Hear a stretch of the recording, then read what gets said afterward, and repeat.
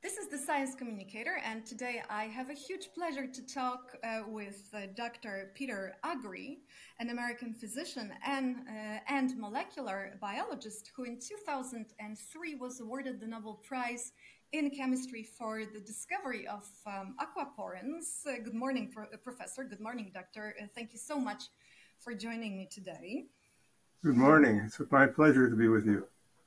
And uh, you yourself uh, call uh, aquaporins the plumbing systems, uh, the, pl the, plumbing system for cells. Um, I must say that at a very, I remember that at a very early stage of primary education, I was told that the human body was um, largely composed of uh, water. So one might wonder why do we need some special channels for transporting water. Now I'm lifting the veil of secrecy a little bit. Why do we need some special proteins? And so, uh, from the very beginning, from the basics, I would like to ask you what are aquaporins and uh, what is their function? Well, you went to a good school because that's absolutely correct. Our bodies are about two thirds water by mass, and water crosses membranes of all cells with a finite degree of movement, but some cells let water in and out very, very rapidly. For example, if you should get a foreign body on the surface of your eye, you, will tear up instantly. Pavlov's dog hears the bell, he salivates. It, it doesn't take minutes, it's, it's seconds. So for water to move across membranes of specific tissues rapidly, it needs a special channel. Just as we have automobiles moving around the countryside, if you want to get somewhere fast, you go on the Autobahn or the Autostrada in Italy. So it's a matter of velocity. We could survive without most of the aquaporins individually, but together to respond and to, have a chance of surviving the movement of water going fast is important. And it seems this is important throughout biology. All living organisms have one or more members of the aquaporin water channel family. It's a simple pore-like structure that lets water through and nothing else. Yes, and is there one kind of aquaporins or are there many kinds of aquaporins? Well, there are several varieties. They all seem to have the same theme. They seem to be a tetrameric assembly of four subunits, each with its own aqueous pore. And the residues lining the pore are conserved pretty highly, but there are some variations. For example, the aquaporin 1 in our red cells is always active. If you take a drop of blood, red blood cells, and drop it into seawater, it will crenate and the cells will shrink. Water leaves the cells. If you take a drop of blood and drop it into distilled water or fresh water, it instantly breaks and all the hemoglobin is released. So it's a very rapid movement. Our kidneys have, in the terminal part, the collecting duct, the, a second aquaporin which is regulated. So aquaporin 1 appears to be normally at the present in the membrane. The aquaporin 2 moves back and forth based on vasopressin. So if we play tennis or soccer on a hot day, we're sweating, releasing water from sweat, we are a little dehydrated. Our kidneys will respond by reabsorbing water maximally from the filtrate. So the variations have to, something to do with the, the functions. Mm-hmm. But overall, they're pretty similar. The aquaporins in the roots of a carrot and the aquaporins in my brain are very similar, more similar than I sometimes like them to be. Mm-hmm. Mm, and I can imagine easily that in uh, there might be defects, some genet genetic uh, defects in aquaporins. Um, what could be the consequences of possible defects? Well, that's that's a very good point.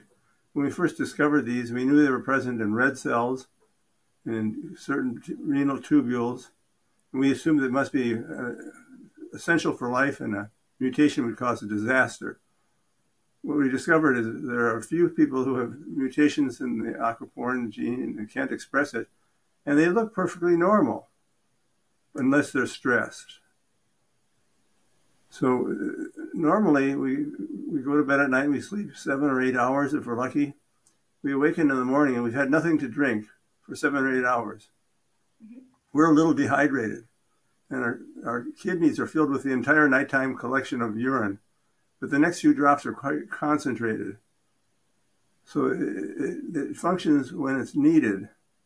These individuals may look normal in, under normal modern life, but if they're in a desert or in a place where water is not possible, for example, as a patient on a gurney in a nursing home, unable to call out, then it can be very consequential. Likewise, the aquaporin in the lens of the eye in a mouse leads to cataracts. A mouse living in a laboratory cage with cataracts does just fine. The food's right there, there are no predators. But let him go in the wild, he'll have big, big trouble. you said at some point that you made your discovery by serendipity. I'm not sure if I if I'm pronouncing this word correctly. Uh, what right. did you mean by this? I think my scientific discoveries are often there's an element of luck involved. Everything is not planned. We're not an engineering enterprise. We're a discovery enterprise. And so we were searching for the presence of the Rh blood group antigen, the rhesus blood group antigen on red cells, which is very important in maternal fetal compatibility. We isolated for the first time by a biochemical means the, the 32 kilodalton core protein of the Rh protein, and a slightly smaller protein came along, which we thought was a fragment of the of the of the Rh protein. It turned out to be a, a completely different protein and so it was not expected, but it was curious. It was very, it turned out to be very abundant, but it didn't stain well, so no one had seen it before. So we were just following the curiosity. What could this possibly be? And had the good fortune of talking about this to quite a few scientists, and one had a great idea test for water permeability. So that, that is serendip. But I guess, as Pasteur said, chance favors the prepared mind. And also, favors people who have friends who are very intelligent, and my, my colleagues are very intelligent.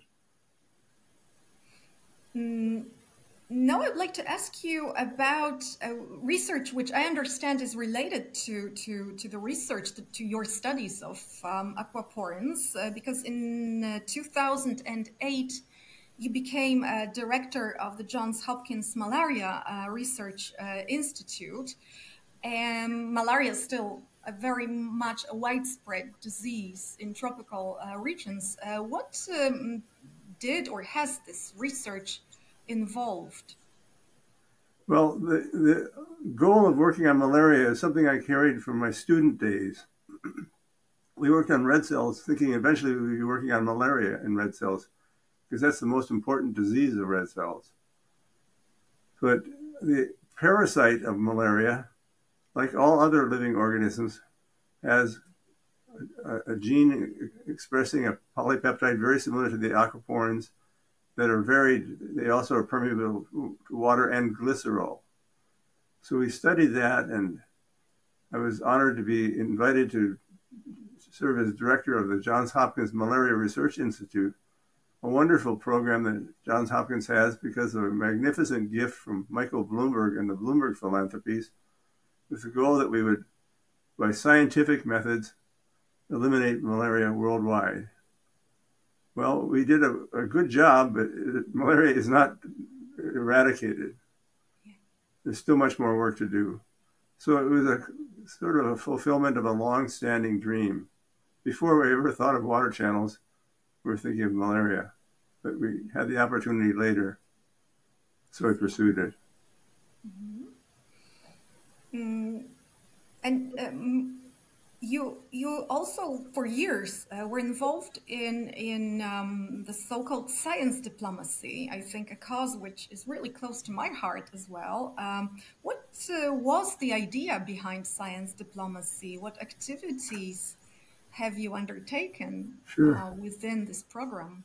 Well, first off, I, have always loved to travel. As a high school student, I traveled in Europe and the Soviet Union, and I found it so exciting. I, I wanted a career that had international activities.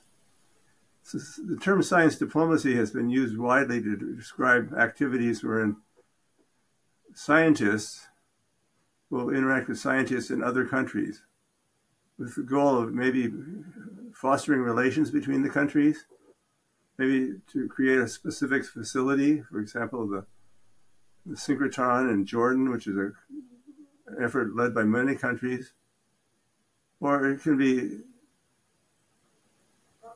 a, method of increasing the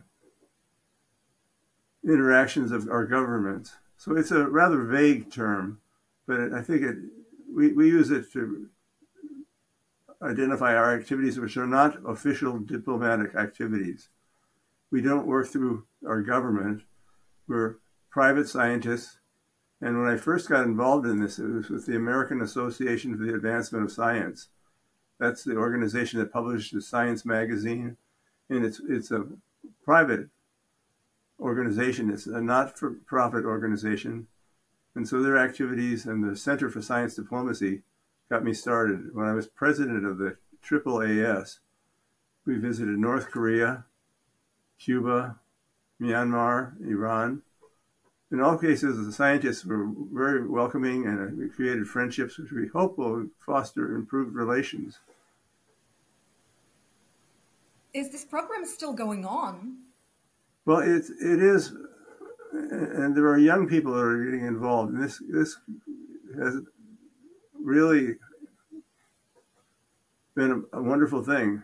At Johns Hopkins, we have a group of graduate students in science who, on their own time, have organized meetings in Washington at the new Bloomberg Center on Pennsylvania Avenue. It's a beautiful building, just one kilometer from the Capitol.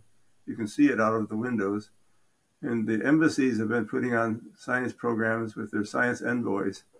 And so I, am very pleased with that. I'm 75 years old now. I, I, I will hope to make a few more trips and get involved, but it's the next generation that counts. I see. All right. So now for dessert, I would like to ask you how did it happen? I'm really, oh, I'm usually, always uh, curious about that. How did it happen that you became uh, fascinated by science that you actually um, decided to make a career in science? Well, I, my father was a chemistry professor at a small college in Minnesota. So I, I grew up with science. My, my brothers and I were, invited up to my dad's laboratory. He would do simple experiments. They were not experiments, they were really demonstrations but they were very interesting. And so I always had in the back of my mind science would be interesting.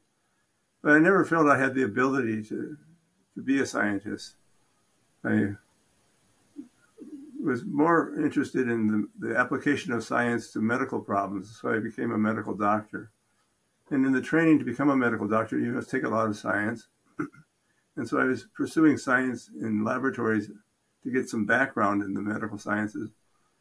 And as, as a student at Hopkins Medical School, I had the great fortune of working in the laboratory of Bradley Sack, who was an infectious disease doctor studying cholera. And so it was an opportunity. And when I worked in the laboratory, I found I, I was not too bad at it. I was not the best by anyone's definition, but I, good enough. And we made some progress. And it's sort of like a, a going fishing, if you catch a fish, it creates a lot of interest. You try it some more. So it was never with the idea I would conquer a field. It was more a matter of being involved in something that was a worthwhile enterprise. I still have great anxiety about my understanding of science. I, I think it's it's rather primitive, but has proven good enough as times. and do you enjoy teaching the younger generation? Yes, I, I, the next generation is so important. And interacting with the students, whether it's teaching as a formal lecturer or as a, an informal laboratory mentor or in discussion groups, they are our future. And I'm very excited what, what they'll accomplish. They're our greatest treasure. Yes, exactly. So thank you very much, Dr. Agre, uh, for uh, for meeting with me, for joining me today. And uh, of course, I, I wish you um, I wish you all the best for your uh, for your um, subsequent undertakings um, and projects, programs. Well, thank you for the opportunity. I enjoyed our conversation and look forward to more interactions. Thank you very much.